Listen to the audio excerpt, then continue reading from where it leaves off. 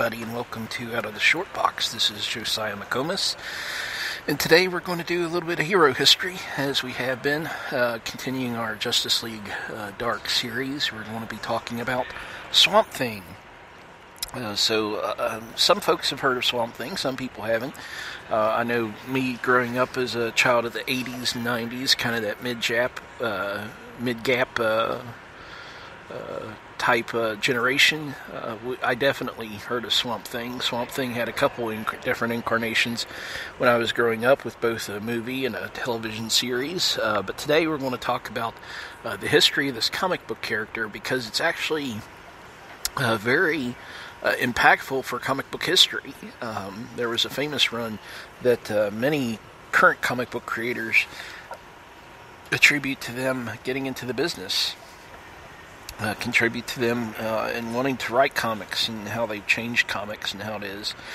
So I'll give you a little bit of history on uh, this character so we can get right into it. So uh, Swamp Thing was created by Len Wein and Bernie Wrightson. Uh, Len Wein is one of the most famous writers and contributors to the comic book world. He was also an editor for DC for a long period of time. Uh, he did work for Marvel. He did work for some of the independent comics as well. Uh, Len was very impactful. He was a great writer, great talent, um, and he, he just had a unique uh, unique way of bringing things to the forefront. He was a very uh, creative man. And Bernie Wrightson uh, was probably one of the also one of the greatest artists slash writers there was in the comic book industry. And Bernie had a lot to do, especially with the success of young characters in the young in the early '80s with uh, DC Comics. Um, so, Swamp Thing was first released actually in 1971 in House of Secrets number 92. And the first Swamp Thing uh, was a little different. Uh, first, the first most fans of Swamp Thing, even if you've seen him in the cartoons in the DC animated universe, uh, know him as Alec Holland, and that's the traditional Swamp Thing that we accept. However, the first Swamp Thing that we were introduced to, the name was actually Alex Olsen, um, and that was the one that was introduced to us in House of Secrets number 92. Uh, when DC realized, though, that they had a very popular character, uh, one that was really gaining steam. They ended up changing the name uh, and the backstory a little bit with uh, Swamp Thing number one, and that's where we were introduced to Alec Holland as the Swamp Thing. Um, so uh, the first run actually of Swamp Thing number one actually established most of the mythos that those of us that know Swamp Thing uh, accept. Uh, it gave us Anton Arcane as his main bad guy, and it also established his relationship with Abigail. Um, Abigail uh, Arcane ended up becoming uh, one of Swamp Thing's main love interests, as we find out uh, throughout the comic books. However, his second run is the most famous run of them all, and it fairly, it definitely established Abigail as his uh, love interest and his uh, motive uh, for for human connection. Uh, and that one was the very famous uh, saga of the Swamp Thing by Alan Moore, which is a beautiful, a beautiful run. And I'll talk a little bit more about the saga of the Swamp Thing a little bit later on. So let's go ahead and get to some origins of the character. I'm going to go uh, over both characters. I'm going to go over Alex Olsen, and I'm also going to go over Alec Holland as well, just so you know. Uh, so Alex Ol- uh, Olsen, let me go ahead and begin with him. Alex was a young scientist in the early 1900s, so it's not a more modern, um, more uh, the more up to date origin has uh, has Alec uh, being in you know whatever current time the run is doing. However, the Alex Olsen run had him uh, being a scientist in the early 1900s, and he was married to a woman named Linda. His best friend and lab partner's name was Damian Ridge. Uh, and Damien became jealous of Alex. Uh, he wanted Linda to himself. Uh, Damian was very much in love with Linda, and he wanted to have uh, Linda for his own, so he decided uh, to murder Alex. He decided to stage an accident and, and actually uh, cause Alex's death. And, and when Alex would die, uh, he would be there to console Linda, and then Linda would end up lo- uh, loving him and marrying him. Uh, so Damien ended up sabotaging one of the experiments that Alex was working on. Uh, well, the, it exploded, uh, it exploded and, and, and, and hurt Alex and, and, poured Alex with chemicals, but Alex still survived. And uh, when Damien saw that he still survived, he ended up taking um, he ended up taking his body. He ended up taking Alex's uh, battered and bloody body, and he took it out and he buried it in the swamp.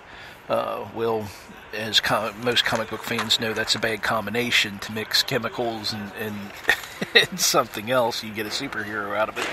So the mixture of the chemicals in the in the swamp ended up making him in the Swamp Thing. Now it was a long transformation. It wasn't something instantaneous. Alex's uh, dead body uh, absorbed uh, stuff from the swamp, and he slowly became Swamp Thing. So during this time, Linda, you know, presumed that Alex that uh, Alex was dead, and she did end up marrying Damien. Uh, Damien, uh, Damien's plan seemed to have worked uh, up to that point. Um, however, as the marriage grew on, and and she was talking to Damien, uh, Linda started to piece things together. Uh, she started to figure out that her husband's death was not an accident, that it was staged by Damien, and uh, Damien quickly found out that Linda caught on quickly. So, what was Damien's solution? Well, he was going to kill Linda so it wouldn't get out and he wouldn't lose everything else. So, during this time, uh, Damien was plotting the death of Linda. Um, Alex Olsen, the Swamp Thing, was spying on them and found out that Damien was going to kill Linda. So, one night, Damien tried to kill Linda by uh, using chemicals and, and, a needle. And when he was uh, running at her with the needle, Swamp Thing busted through the window and saved Linda, uh, killing Damien. Uh, now, after he had killed Damien, uh, Linda looked over at Swamp Thing, and uh, Alex, as Swamp Thing, opened up his arms like he wanted to hug Linda, and he tried to speak to her, but she couldn't hear him because Alex no longer had vocal cords. Swamp Thing couldn't speak. So instead of uh, loving on her uh, husband that had came back, um, she screamed in, in, terror, and Swamp Thing jumped out of the window, uh, realizing that he would never be able to love Linda again, that uh, Linda would never uh, love him again. And so it's kind of a sad, really sad story for Swamp Thing, but uh, that's honestly, that's how it usually goes for Swamp Thing. He has uh, some of the the worst luck there is when it comes to these type of things. So, Alec Holland. So the Alec Holland uh, version of Swamp Thing, that's the one that we all know. That's the most famous version. That's the version that was done in the Saga of the Swamp Thing. That's the one that most all of us knows uh, from there. So Alec Holland is, uh, is his background is a little is similar in the fact that he was a scientist in Louisiana. However, what it has uh, it flushed it out a little bit. Alec Holland was working on a biorestorative formula to help um, the environment there in the swamp um, to, to, to grow back some extinct species and to help restore everything to it was. Um, and Anton Arcane, who was a fellow scientist uh, and rival, wanted that formula, so Anton ended up sabotaging his lab so it would explode. Well, the lab exploded with Alec working there one night, and uh, when Alec caught on fire, he jumped into the swamp, and he actually died. this is the different the difference that we have, and this one was the one that was established by Alan Moore in Saga of the Swamp Thing. I know they've kind of reversed this back and forth, but I really like this version, so this is the version I'm going through. Alan Moore established in Saga of the Swamp Thing that uh, when Alec Holland, when the lab exploded and he caught on fire and he jumped into the swamp, that he died. That Alec Holland actually genuinely died. And what happened was. Swamp Thing is an elemental entity, is an elemental power, and when his body entered the swamp, uh, the Swamp Thing sensed Alec Holland and wanted to be one with his conscience. So Swamp Thing took over Alec Holland's body and his conscience. So Swamp Thing is actually just Swamp Thing using Alec Holland's body. Alec Holland is actually still genuinely dead.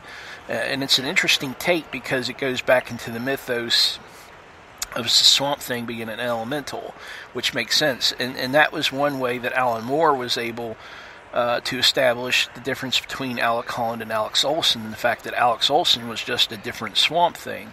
That yes, they're they're a little bit similar, but Alex Olsen was just another Swamp Thing out of many Swamp Things, and Alec Holland is just a Swamp Thing out of many other Swamp Things, and it gives us a, a, a chance to allow the comic book to continue without having to necessarily deal with Alec Holland that the title of Swamp Thing can pass from person to person because it's an elemental power. It's the avatar of the green, as they call it. Uh, that it's a, it's a power that's gone on and, and it just swaps out consciousnesses from time to time.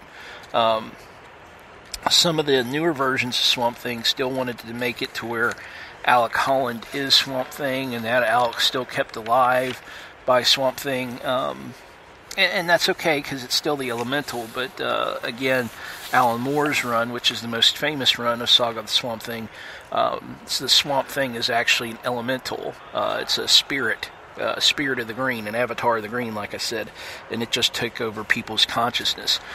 Now, powers. What powers does Swamp Thing have? Swamp Thing is one of the most ignored uh, comic book characters, and I hate it because dude is OP.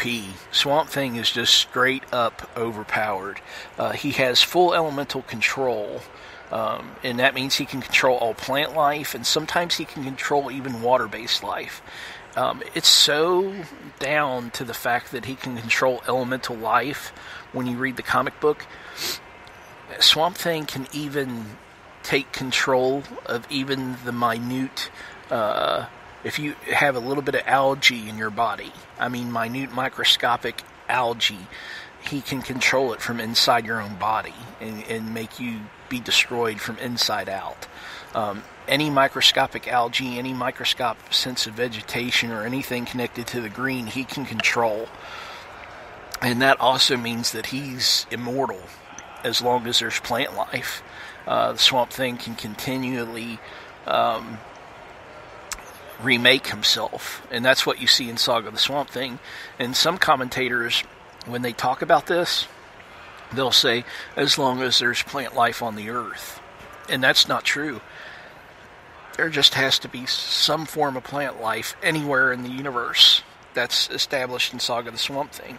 Because in Saga the Swamp Thing, after he had his run in at Gotham, um, and he was attempted to be destroyed by Anton, uh, by uh, by Woodbridge, Dr. Woodbridge and the FBI, uh, Woodrow, I'm sorry, Woodrow, Dr. Woodrow and the FBI.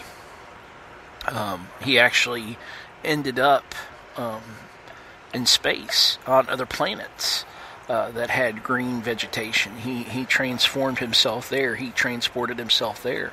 So as long as there's some form of vegetation, and that's what's cool too is Alec Holland, his Swamp Thing. Swamp Thing can can can travel anywhere. He doesn't need to fly. Now, the new 52 gave him a set of wings to where he can control his body and he can sprout wings. And that's cool and everything, and that's great. But uh, Swamp Thing doesn't need that. He can actually travel uh, through plant life, through the ground. Uh, that's how he was able to get from Louisiana to Gotham City. Uh, he was able to travel through through the ground, and he was able, just as long as he can pick up some vegetative life, he ends up becoming uh, wherever he wanted to, and he regrows his body time and time again. So he's very powerful in that. He has very much super strength, um, so much so that uh, uh, he's even gone up against Superman, and Superman's been uh, it's been toe to toe, 50-50 match. Um, so it's very good. So as far as my reading recommendation goes, I only have one reading recommendation for Swamp Thing, but it's the definitive one. It's Saga of the Swamp Thing by Alan Moore. It's hands down. You can get it in trade paperback form. It's still one of the most uh, most highly sold uh, trade paperbacks you can get, um, and it, because it's so influential. Uh, people like uh, Neil Gaiman and Grant Morrison said that the whole reason they even got into comics was because of Alan Moore's run on the Swamp Thing uh, the saga, of the Swamp Thing. It's that great of a comic book. Uh, it, it, was the first also comic book uh, that actually went against the Comic Book Code Authority. Uh, Alan Moore wanted to make sure that he uh, established certain things. He wanted to to give. He wanted to go into some more adult, some more mature themes, and uh, he just wanted to make sure that his story was told.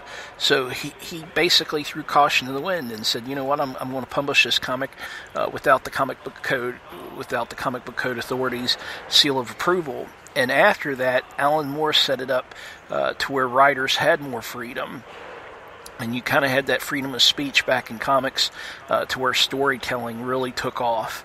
And we had some of the best stories that we that we know today. And that's all because of saga of the swamp thing. So go to your local comic book shop. Uh, you can pick it up online but again i'm a big proponent for picking up at your local comic book shop and get saga of the swamp thing. Swamp thing is awesome. He's also a member of justice league dark.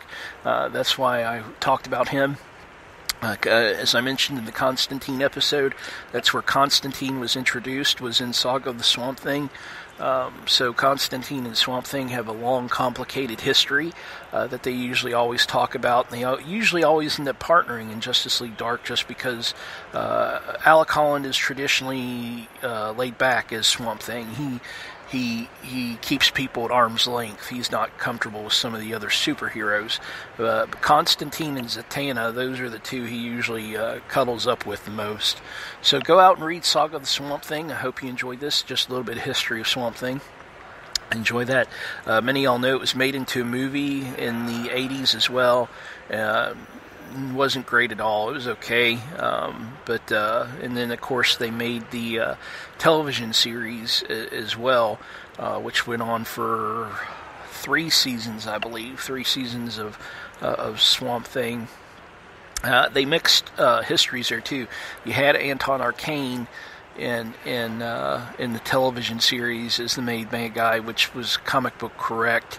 Um, however, you had Alec's wife being Linda, uh, which in the comic book that wasn't really flushed out. It, it has been now in some of the re- uh, reboots and the retcons, um, but in the original run, uh, Alec was dating a woman and it never really gave her her name. So, uh, but uh, we had those incarnations, and we're about to have a series coming up of Swamp Thing on the DC Universe. Uh, so very excited. It's coming out in July, I believe. So keep a lookout. Uh, and if you haven't gotten the DC Universe streaming app, go ahead and get it. Um, it's excellent because it has so much more. It's not just streaming DC owned shows or Warner Brothers owned shows. You can also get some uh, great comic books there as well and get uh, some DC uh, news. So that's it for today. Make sure you follow us on Facebook, uh, like our page on Facebook, uh, like our YouTube channel. Just search Josiah McComas and our YouTube channel come up. Got a couple videos on there now. Uh, so like and subscribe and hit that bell. Uh, like us on Patreon, support us on Patreon, uh, patreon.com backslash out of the short box.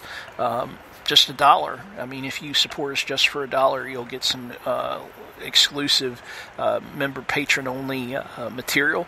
Um, we're coming out with more of that every day. So definitely look us up on patreon.com backslash Alice Shortbox. Uh, follow us on Twitter at McComas Josiah. And until then, I'll catch you in the next podcast.